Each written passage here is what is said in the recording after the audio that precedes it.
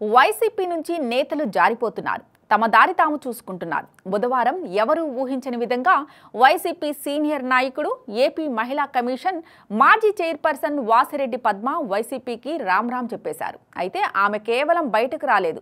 భారీ రాళ్ళతోనే జగన్ పైకి సంధించారు. సరే ఆ విషయం పక్కన పెడితే ఇప్పుడు గుంటూరు జిల్లాకు చెందిన మరో కీలక నాయకురాలు ఎస్సీ సామాజిక వర్గానికి చెందిన నేత జగన్కు గుడ్ బై చెప్పినట్టు పెద్ద ఎత్తున చర్చ సాగుతోంది. రాష్ట్రంలో కూటమి సర్కారు ఏర్పడిన దరిమిలా ఆమె వెళ్ళిపోతారని అందరూ అనుకున్నారు. కానీ ఎందుకో ఎక్కడో కొంత సమయం వేచి చూశారు. వేచి ఉన్నారు. కానీ ఇప్పుడు సమయం చేరువైంది. పార్టీ మారేందుకు రంగం రెడీ అయింది. ఆమె వైసీపీ ముఖ్య నాయకురాలు జగన్ అంటే తమ కుటుంబానికి ఆరాధ్య దైవం అని కుటుంబ సమేతంగా మీడియా ముందుకు నొక్కా వక్కాణించిన మాజీ హోంమంత్రి మేకతోటి సుచరిత. ఆమె కూడా వైసీపీకి గుడ్ బై చెప్పాను అన్నారు.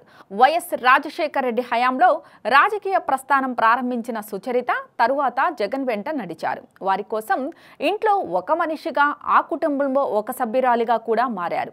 ఈ విషయాన్ని సుచరిత కుటుంబమే అనేక సందర్భాల్లో చెప్పుకొచ్చింది. అయితే రాజకీయాలు రాజకీయాలే. కాబట్టి ఎవరికి ఉండే ప్రాధాన్యం వారికి ఉంటుంది. కాబట్టి గత మూడేళ్ళుగా కూడా జగన్పై ప్రేమ తగ్గుతూ వచ్చింది.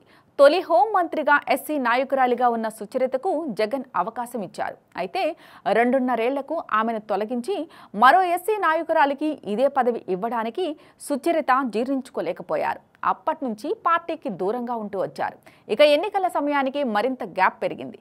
ఏకంగా సుచరితను ఆమె సొంత నియోజకవర్గం ప్రత్తిపాడు నుంచి గుంటూరులోకి తాడికొండ నియోజకవర్గానికి మార్చారు. తొలుత అసలు టికెట్ తీసుకునేందుకు కూడా సుచరిత మొగ్గు చూపలేదు. ఆ సమయంలో ఓ కీలక పార్టీలోకి మారేందుకు ప్రయత్నించారు. అయితే భర్త సూచనలతో పార్టీలో కొనసాగారు. ఈ ఏడాది జరిగిన ఎన్నికల్లో సుచరిత ఘోరంగా ఓడిపోయారు.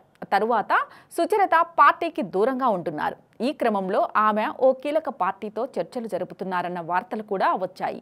ఇప్పుడు ఆ పార్టీ అధినేత ప్రభుత్వంలో కీలక పాత్రలో ఉన్న నాయకుడు గ్రీన్ సిగ్నల్ ఇచ్చినట్లు తెలుస్తోంది. దీంతో ఆమె త్వరలోనే పార్టీ మారటం ఖాయమని తెలుస్తోంది.